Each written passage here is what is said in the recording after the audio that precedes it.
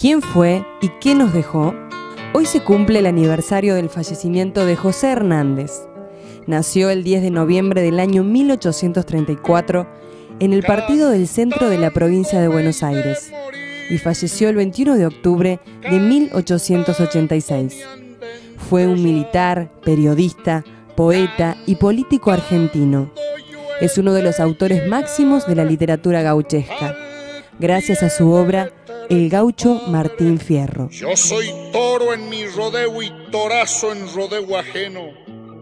Siempre me tuve por bueno y si me quieren probar, salgan otros a cantar y veremos quién es menos.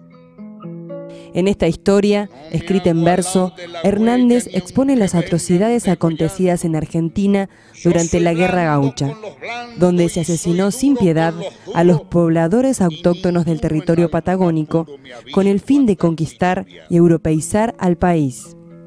Martín Fierro es un gaucho que es obligado a luchar junto a otros tantos de su clase en una batalla con la que no se siente para nada identificado.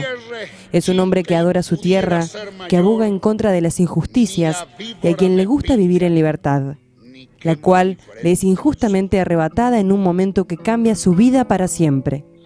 Hernández ha escrito otras obras de importancia relevante para la literatura argentina y hoy se recuerda el día de su fallecimiento, el 21 de octubre de 1886. Si mundo es un infierno, ¿para qué afligirse el cristiano?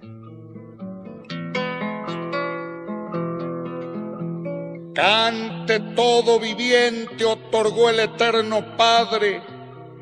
Cante todo el que cuadre como lo hacemos los dos, pues solo no tiene voz aquel que no tiene sangre.